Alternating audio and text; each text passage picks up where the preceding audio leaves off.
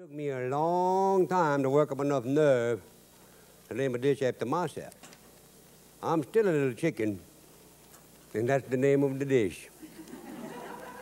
chicken a la Justin, or as we say down home, chicken a la Justin. To make a chicken dish, first you got to have a chicken.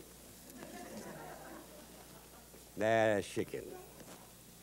I've got two fries already cut up right there. We're going to put some olive oil on this pan. We put that on there. That's one reason. Another thing, it's good, it's healthy, it's not as greasy as some other oils that you might use.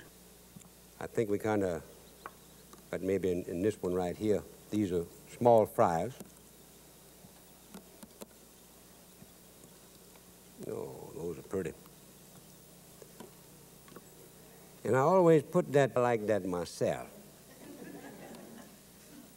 and for my wife, Sarah, I got to put that liver where I can find that book. She like that. These hot, a little black pepper. There we go. That'll make me sneeze. Little red pepper. Cayenne. Cayenne pepper. Ooh, yeah, I guarantee that's hot. Then we salt that.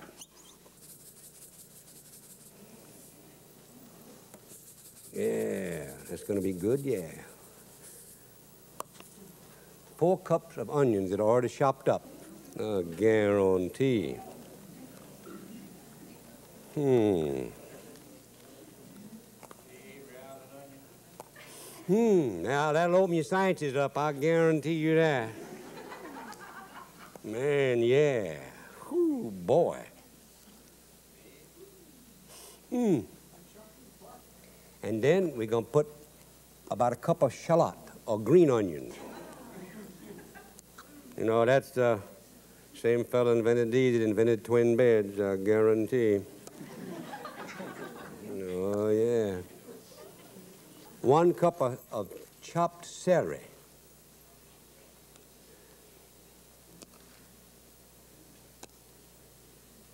Ooh, wee, that's gonna be good, yeah. One chopped bell pepper, not too big. Uh, not over a cup. You don't want to put over a cup. About two cups of parsley. Parsley is something just to garnish something with, but that ain't the way it is now. Parsley has a very fine seasoning value. And you chop parsley up, you chop the leaf and the stem too, because the stem has a little different flavor than the leaf. And it's absolutely delicious as far as seasoning, and it's healthy too. Hate like the devil to tell anybody that, they may not want to use it. But it's real good for you. This is pimento. This pimento is uh, in strips and make things look pretty. But it also, also too, it's got some, and looks so pretty, but also it has a fine, fine seasoning value. Whew. Well, before we cook it.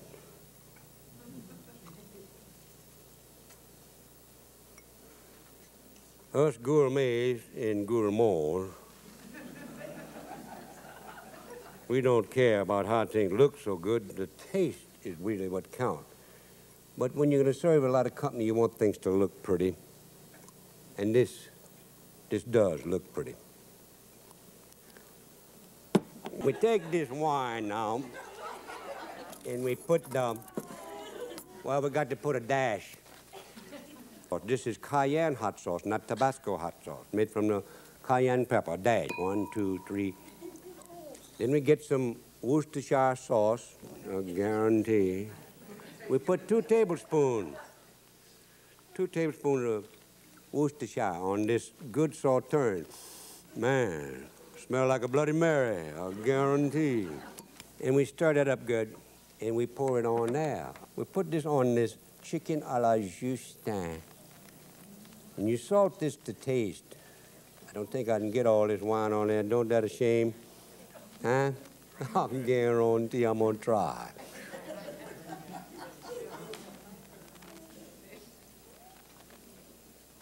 I got a smaller casserole. It just won't did it.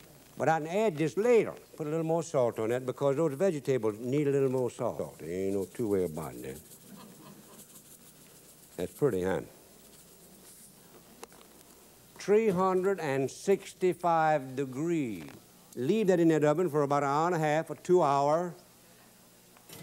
And if your oven don't work, like sometimes they don't, like mine wasn't working the other day, well then you got to haul off there and leave it a little longer. First, I'm going to get me a little rice to put here on this. Even though I got jambalaya, I got another dish here I want to serve with this rice. Then I'm going to get me a little uh, mustard green I got cooked. Let me get that where I can show that with you. Isn't that pretty? We cooked that too. We cooked that mustard green with a little wine. Put that on there. Then we get a little chicken a la Justin. That a second joint is. No, that's not. That's a back. I like that too. I didn't know there's anything but backs and wings and all that stuff until I got there. Isn't that fine? Now, sit myself down, hmm. pour some wine, and I want to tell you a story.